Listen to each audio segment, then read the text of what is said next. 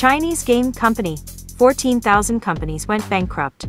No online new approval. In China, when authorities are increasingly controlling the game industry, game-related companies are in trouble. The screening of online games has been rigorous, and since the end of July last year, there has been no approval for the release of new works and 14,000 companies have been bankrupt in the past five months. Restructuring is also occurring one after another. It seems that the movement to seek a way to live in unregulated overseas markets such as Japan will accelerate more than ever.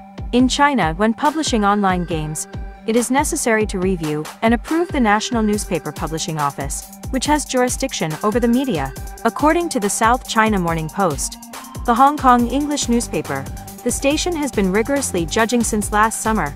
In addition to violating the law and leaking national secrets, it seems that the content that players commit murder and female men and distortion of historical facts have been newly regulated.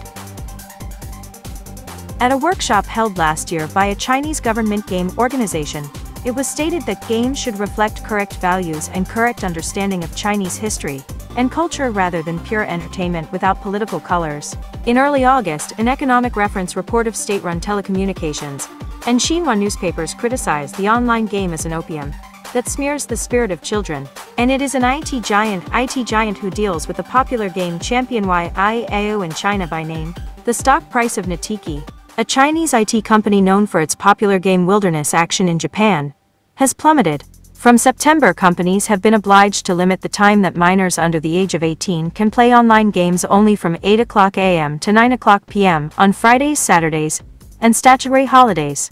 In addition to narrowing down the number of new games to prevent game addiction for children, who are serious social problems in China, there is a viewpoint that it is part of strengthening the control of the IT industry by authorities. Until last summer, the National Newspaper Publishing Office has published a list of approved games about once a month.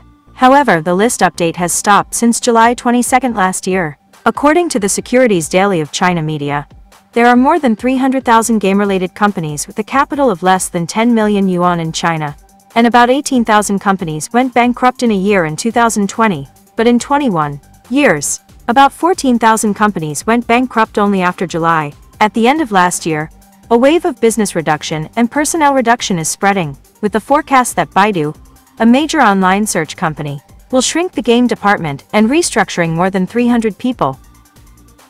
An executive of a game company in Hangzhou City, Zhejiang Province, where the game industry is thriving said, We are developing new works, but we don't know when the authorities will approve it. We will focus on overseas businesses such as Japan, South Korea, and the United States without regulations, he said.